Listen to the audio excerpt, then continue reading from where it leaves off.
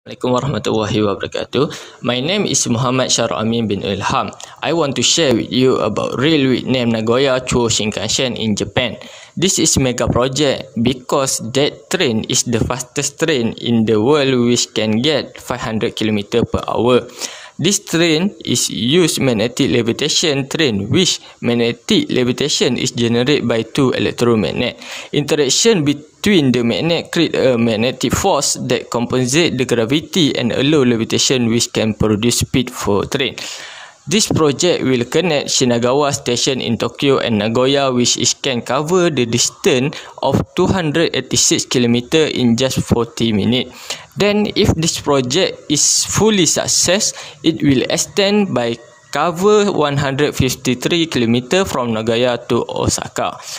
Uh, 86% from this rail is underground. This project is expected fully success in 2027. Thank you. Introducing to you London Crossrail, or known as Elizabeth Line. This project has become the biggest addition to London transportation network with a worth of 22 billion US dollar. Holding the record of Europe's largest infrastructure project, Elizabeth Line will be operated along west to east by crossing London with distance of 117 km long. A 42 km of new tunnels were built with the usage of 65 brand new trains which comes with luggage, wheelchair and Wi-Fi facilities inside it. There is also 9 new stations built along the Elizabeth line route to connect all the stations. Elizabeth line will split to two branch after the conjunction of Whitechapel station which leads to Shenfield and Abbey Wood. This project are expected to transport more than 200 million people per year. Elizabeth Line could transform London and beyond for generations to come. Riyadh Metro, one of the mega projects in Riyadh, Saudi Arabia, metro rail system which is construction started on April 2014 and expected completion on 2020.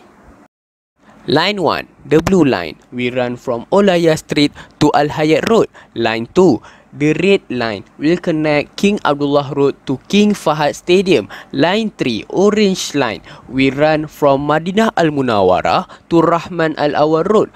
Line 4, yellow line, will connect from King Khalid International Airport to the new King Abdullah Financial District. Line 5, the green line, will connect from King Abdul Aziz Road and line 6, purple line, will start at King Abdullah Financial District and end at Prince Saad Ibn Ar-Rahman Al-Awar Roads.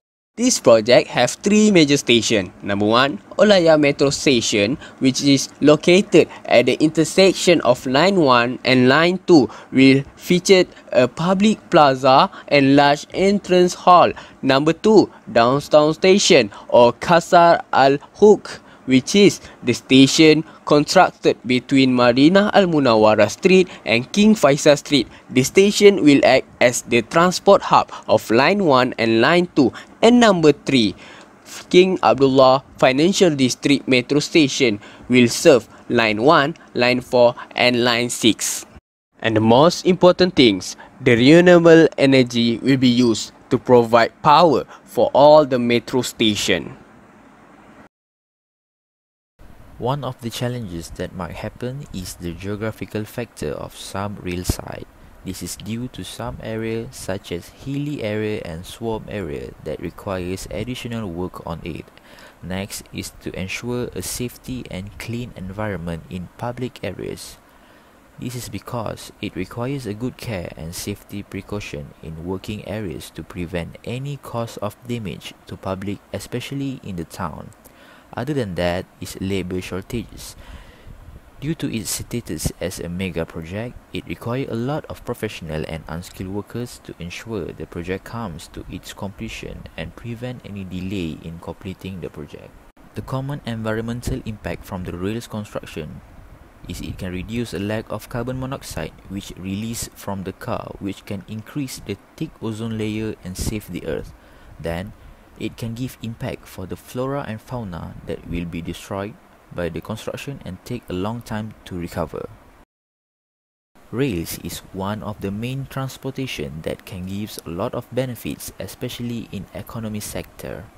Low cost and easy to use will attract society to use rails than car which it provide high returns from this project for a long term. In addition, the construction of this rail will also provide many job opportunities to the community which help improve the economic status especially the unemployed. Furthermore, these rails are also capable of increasing transportation opportunities such as allow people to choose what transport they need based on their time and money flexibility. One of the criteria and aspect that need to consider is target location of this project with higher parity. To ensure a constant user of this rail, it requires the project to be located at strategic places with high and continuous consumer such as town and developed area. Next is the expectation of return to the country's economy and society in a long-term effect.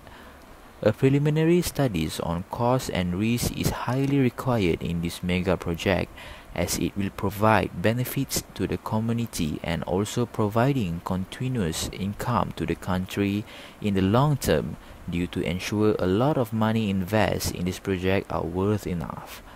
Last but not least, considering in minimizing the usage of flora and fauna areas, to preserve a good and healthy environment, it is advised to reuse the existing area to prevent any deforestation.